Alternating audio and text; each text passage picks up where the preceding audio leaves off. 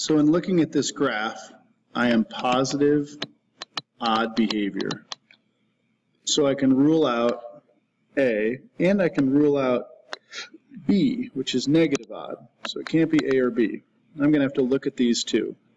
I have an x times an x cubed times a negative x.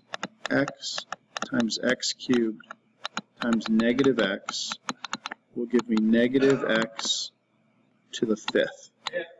Hey, this would be going down, so it can't be that one. So it must be D. Let's just confirm it. I have negative 1 times x to the fourth times another negative x, or negative times negative x to the fifth, which is positive x to the fifth, which is in fact the positive odd that I'm looking for. As a quick practice problem, try to sketch all of the end behavior for A through D.